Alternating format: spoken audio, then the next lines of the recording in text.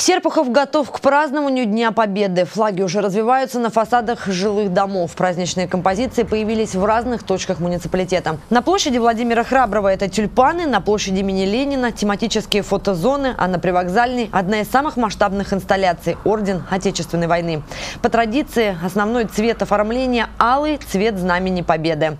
Учащиеся художественной школы имени Бузовкина, творческих кружков и общеобразовательных учреждений тоже приняли участие в украшении городского округа к празднику. Их рисунки на тему «Победа глазами детей» размещены на информационных тумбах. Подходит к завершению работа над граффити в честь легендарного ветерана Павла Козленкова.